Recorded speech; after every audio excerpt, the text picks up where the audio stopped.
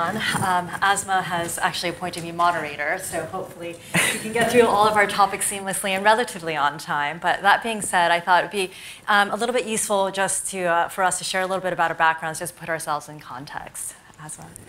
I think I, my entire childhood and upbringing was, my destiny was to be on the fringes.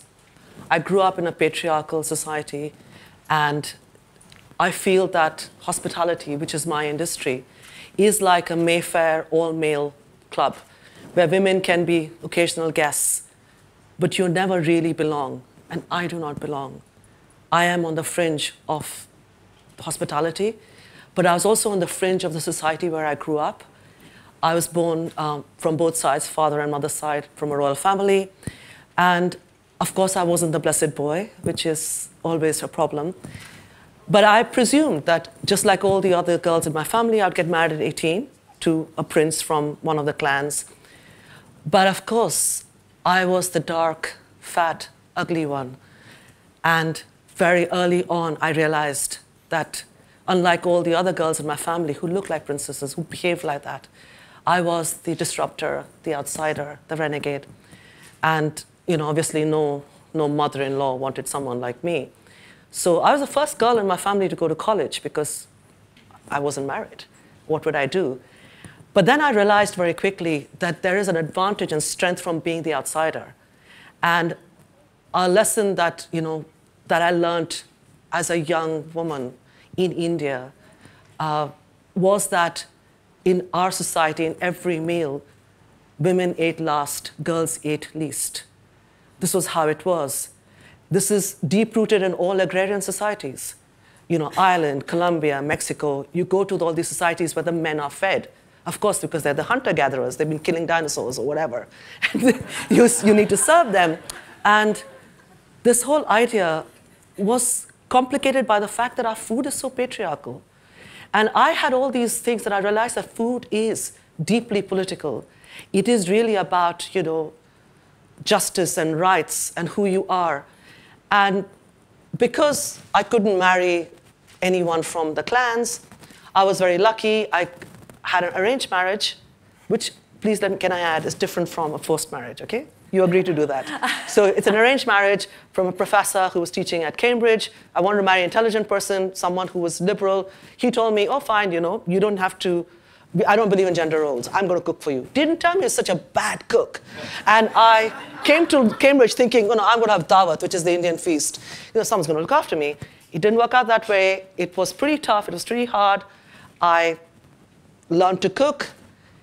And then I did what is what you would expect from all good Indian you know, girls. You either be lawyer or doctor. Everyone tells you that. So I decided to study law. I did law, and I did a PhD in law, so when I want to sound very poncy and very posh, I can say I'm a doctor, but I, I'm not a chef, I'm a cook. And I then uh, realized, you know, that I got no pleasure from law. What gave me pleasure was feeding and cooking people. That, is became, that became my career. I chose to cook for people from my house uh, as a supper club initially. 10 years ago, someone who looked like me, accented, Muslim, immigrant, you didn't see on food media food television at all. There was Madhur Jaffrey, and then there was no one. So I didn't think I belonged in the industry. I started from my home, and then, of course, I moved on to doing um, you know, something, supper clubs outside. Eventually, I ended up with a restaurant.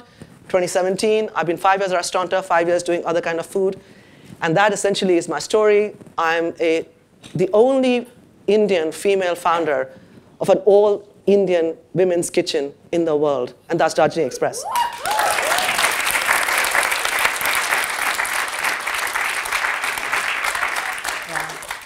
Asma and I are old friends, and we've, we've, cooked together. We've fused our cuisines together. We've done Korean dinners, so it's it's very um, happy for us to be on stage together. So I think a lot of what we're talking about today is just paving your own way, and um, I'm going to just start talking about my, my father because I feel there is a lot to what we're doing in terms of paving our own way, but it's also about creating your own luck.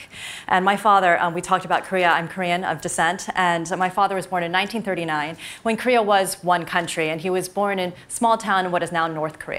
Um, and uh, it was, it's a crazy story, but very typical for most people of, of his generation. Um, just before the war in 1950, he fled the north with his entire family, eight brothers and sisters, by foot, and they made it to a small island on the southern tip of the peninsula called Jeju. And there he grew up in a refugee camp under very, very poor circumstances and situations, and four of his older brothers were drafted into the war. Miraculously, everyone survived, and through hard work and sheer will and determination, my father ended up making it to medical school because you just became doctors back then. There were no other things to do. Um, and um, and, uh, and ended up um, immigrating to the United States in the 1960s, along with most of his medical school class. This is when they relaxed the immigration laws to America, a great brain drain of Korea, for degrees that they needed. Um, my mother also was, um, was kind of crazy. Everybody was trying to get out of Korea at this time because, as you learned before, Korea was one of the poorest countries in the world.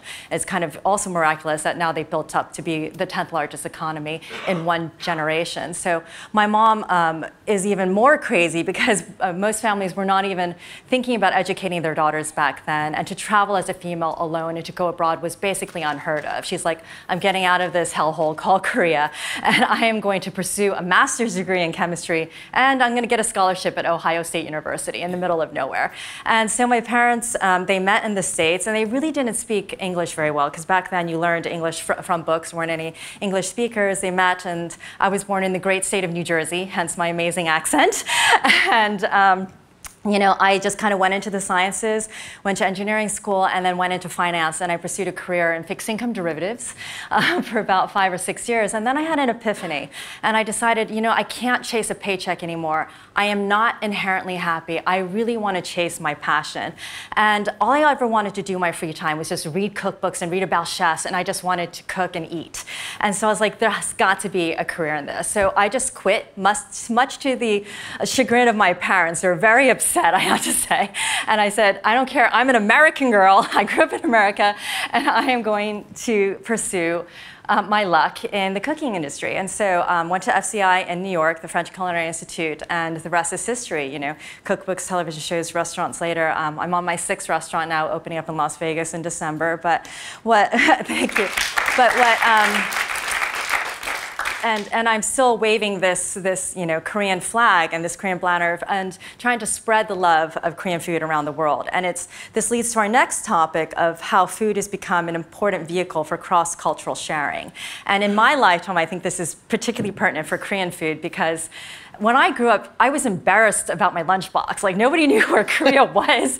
that people thought it was part of Thailand. Even when I opened up my first restaurant here in London about eight years ago, you know, the top food critics came in and said, compared me to Thai restaurants by name and said my food is missing lemongrass and lime. I'm like, are you kidding? You know? And so I was like, look at a map. And so, and now it's it's crazy because I'm being bombarded with so many questions from around the world, you know, about what are they eating in Parasite? What are they eating? What are they drinking? Squid Games, I'm watching this, and you know, Korean dramas are a big fuel of this because they're translated into 90 different languages around the globe.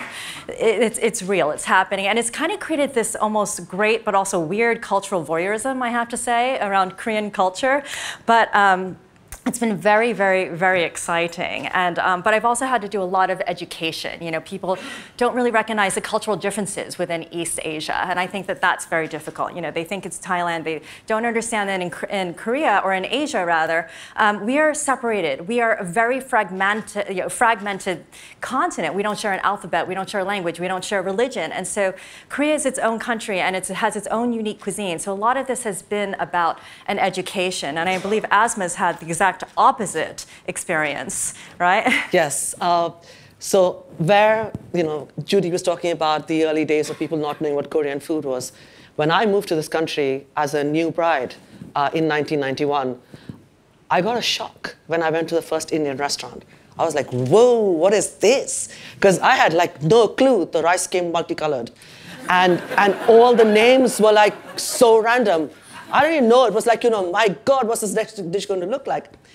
And I realized that this is a problem that everybody thought, it's like saying I'm going to go and have American food. They thought Indian food is, an, is, is something. You know, in India, three villages you go, you temper the dal differently. We are very different. We're, we're separated by the basic thing rice growing, wheat growing, rice growing, wheat growing. If you are eating roti, your entire food is going to be different. If you're eating rice and we eat with our hands, the gravy is very important. You know, it, it is the texture, you know, and it's what you, what you grow locally. You know, we didn't have fridges, you know, it, food didn't move from areas, you know, so we use coconut oil, mustard oil, even the oil we used was different. And despite, and the biggest problem, I got a shock here, everybody was telling me, when they saw that I made dal that was yellow, they said, what is dal? Dal is dal makhani. Absolutely bloody minuscule number of people eat dal makhani in India. But it's what all the five-star restaurants made, and that's what everyone thinks we eat. And it was a shock because when I wanted to cook my food and I wanted to do supper clubs in my house, I was so scared that nobody would come. I did all my first few supper clubs for charities, for hunger charities, because I thought, you know, if they think my food is weird, at least they've donated to charity. I didn't even keep my costs. I completely lacked the confidence because it was against a tide of, you know, bright orange food, which, you know, was like, whoa, it just was so hard. And this is the difficulty that, you know, you are, I, food and culture has been separated very, very easily. Uh, and a bigger problem is that as a Muslim immigrant, an Indian, a female, now I'm 53, I want to tell people you cannot take my food and, my, and separate culture from it. I won't let you eat it. You need to be someone who I can interact with. You break bread with me, you have a conversation with about my food. And this was really important. And even though I've criticized the you know, curry houses that bought they, they changed the palate of a nation, and I'm very grateful for them. Even though it was food that was green or orange, I I feel I stand on the shoulders of giants who were these people who allowed someone like me to become who I am today. Absolutely. And um, I think that, yeah it's, it's important to also know that like food is so often the entry point to learning about a new culture. And it is something that we all have to engage in, we all have to eat. And it is the number one bonding experience that you can do with somebody that engages all the senses other than sex, you know? So this is why food is so highly emotive and emotional. And we have so many memories anchored around food. And this is why it's so important because the more you learn about other cultures, you learn about tolerance, you learn about mindfulness, and, and, and you learn to just respect each other more. And Asma spoke about standing on shoulders, and I feel that we are always standing on each other's shoulders to try to break down these ceilings above us as minority women in this crazy male-dominated um, industry. You know, I often feel that kitchens are testosterone arenas. And what do you feel about that? Yes, and it, it is very difficult. I have a feeling that because I'll just give you one example. From Afghanistan to Sri Lanka, every home, the woman is cooking or the matriarch is in charge. When you look at middle range, high end restaurants in the east or the west, and I'm from both, you can make out from my accent, they're all men. And this, they have taken away our status completely. The stage is full of men. There is no place for someone like me. So, as I pointed out earlier, I'm the only all female kitchen cooking Indian food in the world. And this is not an accolade, it's a point of shame for me. And the difficulty is, I realized when I was trying to get a lease, you know, after Chef's Table, the place went mad. You know, we had bookings for two, for you know two years. We couldn't. We were struggling. I was trying to find a lease, and everyone kept telling me, "Oh, I'm so sorry. You know, we we gave it to someone. Who did they give it to? A mediocre white guy." And I was thinking, like, "Oh, how interesting." And it was all this was going on. I had to work for a bloody pandemic. When these mediocre white men failed, I got a lease of a big restaurant. This is unacceptable. I had to wait for men to fail to be able to get my restaurant. And every time before that, they always ask me, who's your business partner? They're looking for the suit. Yeah. And this is the problem that if you're a female founder, and it doesn't matter, it's beyond color of skin, although I think that's a big issue as well.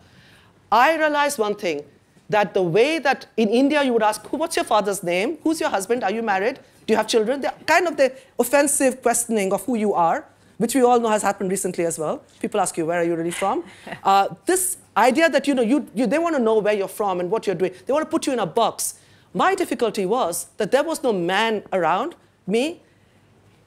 The East and the West is equally biased when it comes to women. Everyone, it's just a veneer of respectability in the West. The bias is real against women. It's true, definitely. I mean, I think that we feel that we're always walking uphill or always sailing into the wind. It is a constant battle, but it's almost our normal You know what I mean? It is like we're just used to it all the time. And I, I get this question all the time, which, which really bothers, bothers me. You know, I tell people what I do, who I am, and they said, but you don't look like a chef. And I'm like, what is a chef supposed to look like? You know, and I feel it's because I haven't, you know, masculated myself entirely. Like if I cut off all my hair, maybe if I didn't wear makeup, you know, maybe if I was covered in tattoos or wore pierces or something, you know, I'd be taken more seriously in this industry that is just completely male dominated. And another thing that I find that, you know, I have to overcome too is that being an East Asian female, you know, breaking down that stereotype, you know, that I'm submissive, I'm obedient, you know, that I am just, you know, just, just going to be quiet. And there's so many meetings where I've, you know, brought in a, uh, a male counterpart and questions are directed towards him. They are asking questions and they expect him to answer. I'm like, I pay him. You know, like I don't I don't understand this. And then he's confused because they're asking questions to him. He's like, you know, so it, it it's it's a dynamic that most people aren't used to and it causes a bit of surprise in the room. But we are the unicorns right now, but we hope not to be the unicorns going forward. And we have these machetes and we are cutting down all of the obstacles for the next generation to come through and, um, and we hope that they do come through. But the other thing that I think that does make us unique is the fact that we are career changers. And I think this is something that's particularly pertinent, especially after COVID. Everybody's kind of reevaluating their lives, gaining new perspective. And so Asma has done their career change, if you want to talk more about that. Yes, uh, for me, the career change was, of course, from law to food. But it is uh, even harder to change tracks when you're in your 40s. So I've been doing food for the last 10 years. I started when I was 43. And so you're not just dealing with the fact that you want to change careers. I had to deal with the bias about my age. And, you know, I am not in this battle of reproduction and use. The problem is that I had learned as a lawyer that you have to be on the right side of history. You speak up. And this is how the law changed because there was a force from within to change it. Slavery, colonialism, you know, segregation. I'm not going to get off my seat from the bus. You needed one person to say that. Occupation. All of this will end one day when you are brave enough to say, I want to be on the right side of history. And for me, I this is the skills I learned as a lawyer, which I've used in food. For me, people who've come to my supper club, come to my biryani supper club, you get a speech from me on politics, on power, on justice and equality. You get to eat my biryani. I will not let you leave the room because you're captive. You've paid for the meal. You're going to sit there while you eat. and I'm going to talk to you about power and injustice, about slavery and racism, and how food is about, you know, somehow people don't want to pay a lot of food on Indian food because we're seen as cheap and cheerful. They pay a lot for European food. This is racism. So the thing is that, you know, I'm a, you know, I change careers, but I also realize one thing that uh, I just want to say the last bit, which is that this is not the autumn of my life. This is the spring of my life. Look at me, I'm here. and I, and for every game, there are two innings. I've come for my final innings. This is when I know I'm not going to get a chance to bat again. I'm going to hit every ball out of the park. and that is, that is the difference when you come into a second career you come with a passion and you come with a confidence which is very different. I, yeah, I, I definitely agree. Yeah.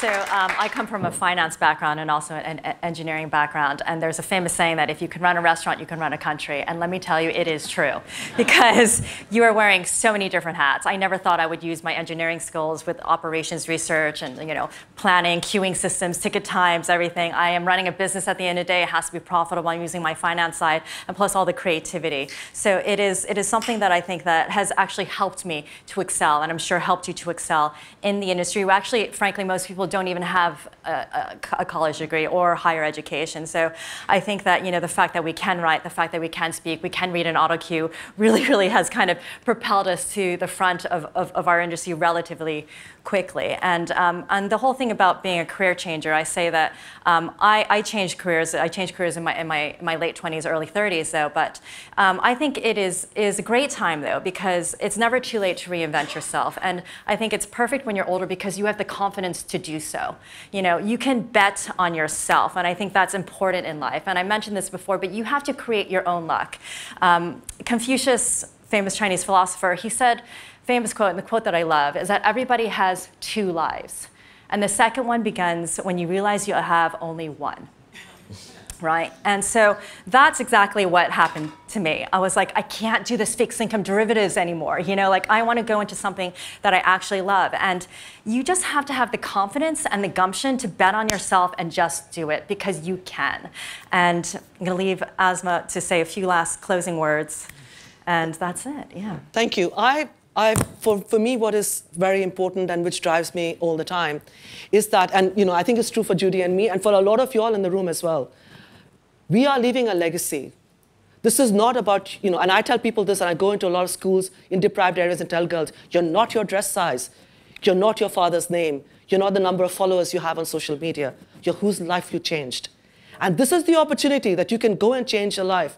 And for me, and I know for Judy as well, people, long after I'm dead, so a woman is going to get on a stage like this. She's going to go into a bank, go into a landlord's office, and she can say my name. Even when I'm dead, I will be serving the cause that is so important to me. And this is why I think all of us should be doing this, that we leave the legacy, not of immediate fame and fortune and all of this. And if you're in a restaurant business, you, there's no fortune. Uh, there is, it's not all of that. It really is that you leave. You know, I, I just want to end by saying that both Judy and I, I think we're both sowing the harvest we will never reap. Yeah. And that gives significance to our lives and what we do every day. Yeah. Thank you very much.